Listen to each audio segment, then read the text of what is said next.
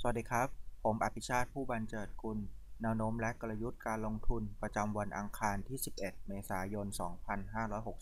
2566 มองเซตวันนี้แกว่งไซด์เวย์ออกด้านข้างในกรอบจำกัดครับ ถึงแม้เซตเมื่อวานพุ่งขึ้นแรง ทะลุระดับ 1590 แต่วอลุ่มเทรดน้อยครับ ประมาณ 30,000 ล้านบาทต้นๆ เพราะฉะนั้นตลาดยังแฝงด้วยความเปราะบางสูง ขณะที่บอลยิวและเงินดอลลาร์ขยับขึ้นเล็กน้อย มองเซนติเมนต์เป็นกลางถึงลบเล็กน้อย หลังตลาดประเมินเฟดจะขึ้นอัตราดอกเบี้ยในการประชุมเดือนหน้า จากเดิมที่คาดว่าอาจจะหยุดขึ้นดอกเบี้ยแล้ว โดยภาพรวมตลาดหุ้นไทยในสัปดาห์นี้ ยังเทรดเงียบเหงาต่อไปในช่วงเทศกาลสงกรานต์ครับ แนะนำติดตาม IMF จะเปิดเผยคาดการณ์ตัวเลขเศรษฐกิจใหม่ และติดตามตัวเลขเงินเฟ้อของสหรัฐ และรายงานการประชุมเฟดในวันพุธนี้ รวมทั้งงบแบงก์ในสหรัฐที่จะประกาศในช่วงวันศุกร์นี้ครับ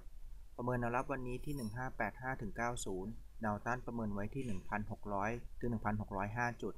ด้านกลยุทธ์การลงทุน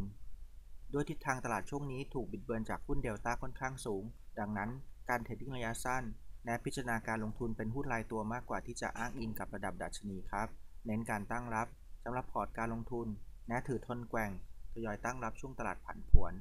หุ้น Fundamental Pick สลับวันนี้แนะนำ SNNP ครับาดกำไรไตรมาสหนึ่งอยู่ที่ 162 ล้านบาท เพิ่มขึ้น 53%เยือนเยียและ6% Quarter Quarter จากยอดขายในประเทศและการส่งออกที่เพิ่มขึ้น ผลจากการปรับแพคเกจจิ้งและการทำการตลาดออกสินค้าใหม่